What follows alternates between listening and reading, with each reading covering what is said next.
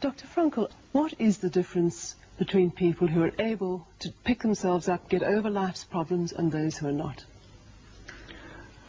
The decisive factor is decision, the freedom to, of choice, the freedom to come up with a decision. It should be, I would like to become this way or another, in spite of conditions that should only seem to fully determine my behavior. I wish to act freely as a responsible being, eh, which is a human being. I wish to act in accord with heredity and environment, using, owing what I become to them, but also, if need be, in spite of the worst conditions. That, this is exactly what you could watch and witness under severe, extreme conditions of, strength, uh, of, of stress, or of uh, tragic conditions. Just think of uh, people uh, living for several years under the worst conditions of prisoner of war camp.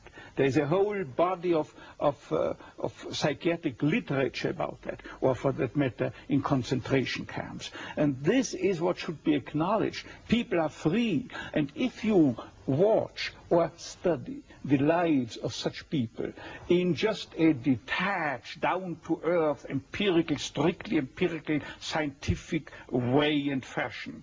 Other, in another way than you presented it and you commented it, in another way, then people get the picture, uh, the impression of a human being as something, not someone, something that is fully determined whereas they don't recognize and acknowledge the freedom and the responsibility, the responsibility for themselves, the responsibility for making something or someone out of himself. So your basic philosophy is that life has meaning under all conditions, but how easy is it when there's a sense of hopelessness, a sense of despair, to recognize this meaning?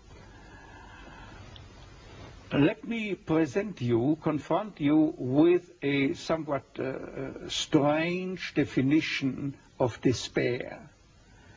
As I'm used to uh, proclaiming is that despair uh, can be explained in terms of a mathematical equation.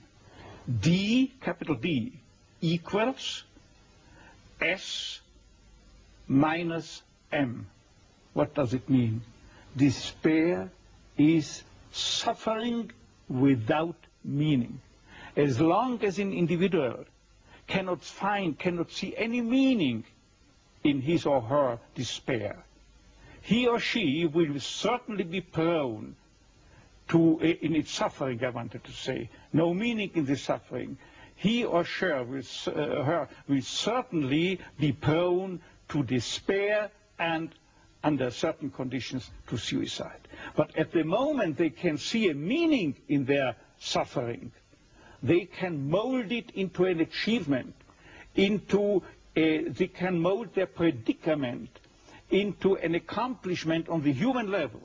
They can turn their tragedies into a personal triumph but they must know for what. What should I do with it?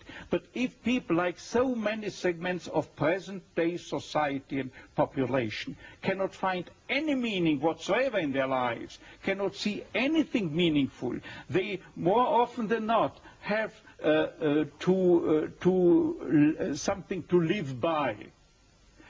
Uh, or say at least enough to live by. They cannot see anything to live for. What is the answer to the question, why me? Why did this happen to me? The uh, answer to such a question is nothing that a psychiatrist or any other type of a scientist can come up.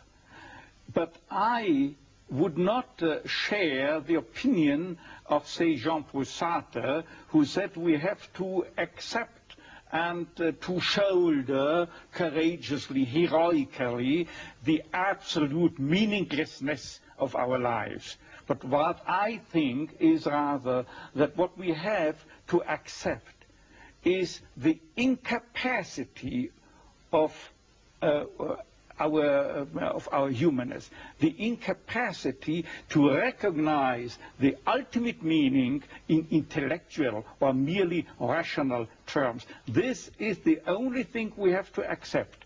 But still, we may believe in a, an ultimate meaning, but to, to uh, lead someone, say a patient, to, uh, to eat the way for him to such a belief, to faith, is of course not the business or job to be carried out by a psychiatrist, but rather by a theologian. Tell me, to what extent do you feel we have choices in the things that befall us? Our freedom is a finite freedom, a limited freedom. That is to say, a human being is never fully free from conditions, be they of biological or psychological or sociological uh, uh, kind. But the ultimate freedom is always and remains always reserved to ourselves. That is the freedom to take a stand to whatever conditions might confront us. How we react to the unchangeable conditions is up to ourselves. In other words, if we cannot change the situation, we have always the last freedom to change our attitude to that situation. Dr. Frankl, give me an example of meaning that can be taken out of a situation of despair. I once received a letter from a young Texan uh, student who told me his own story. At the age of 17 years, he had an accident when uh, indulging to his uh, diving sport. And from that time on, he was paralyzed from the neck down. And he wrote to me, I broke my neck, but it did not break me. I am at present helpless and this handicap will remain with myself apparently forever. But I have not given up my studies. I went, because of my own helplessness, to help other people. I want to become a psychologist, to help others. And I'm sure, he wrote to me, that my suffering will add an essential contribution to my ability to understand others and to help other people. This man, three, three years later, was invited by me to deliver a lecture, to read a paper at the third World Congress of Logotherapy taking place at the University uh, of Regensburg in West Germany.